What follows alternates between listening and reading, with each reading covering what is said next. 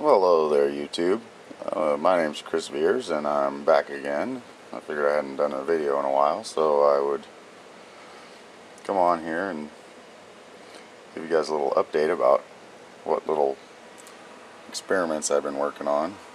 And uh, one of them is this thermoelectric cooler, otherwise known as a Peltier device, or there's another name, I have to look it up, I can't remember.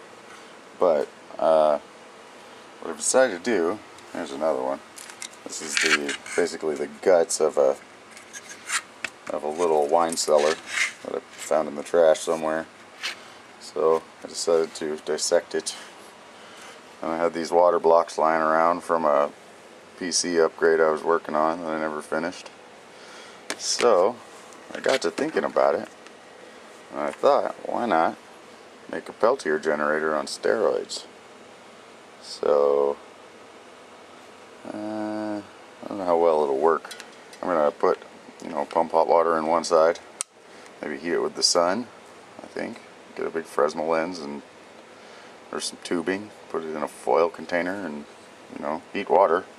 Pump it through one side. And, uh, cool water with this little Thermaltake radiator.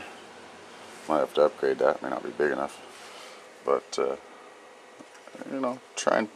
The idea behind these coolers is that not necessarily heating or cooling one side, it's uh, passing heat through it uh, will make it create energy. So, uh, let's see how far I can take it. And then, uh, it's going to take a little work. I have a bunch of parts for it.